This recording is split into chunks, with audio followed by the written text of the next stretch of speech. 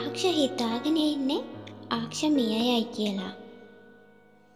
අනුහත් සාක්ෂ ගැන ගොඩක් වද වෙනවා. උදේනි අම්මට අනුහස් ගැන ගොඩක් දුකයි. උදේනි අම්ම හිතන්නේ මේ වගේ දුකක් නම් මොනම පුතෙකුටවත් සිද්ධ වෙන්න එපා කියලා. උදේනි අම්ම ආක්ෂගෙන් වැඳලා වගේ ඉල්ලනවා.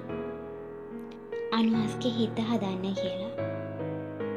අනුහස්ගේ ලොකු බලාපොරොත්තුවක් තියෙනවා අක්ෂ හොඳ කරන්න පුළුවන් කියලා. අනුහස්සක්ෂගේ ආදරේ හරිම පිරිසිදුයි. මේ දෙන්නගේ ආදරයට කඳුලක් ආවද අවසානට සතුටක් ලබා දෙයි. ඉතින් මේ දෙන්නගේ ආදරේ කෙලවර වෙන්නේ විවාහකයකි.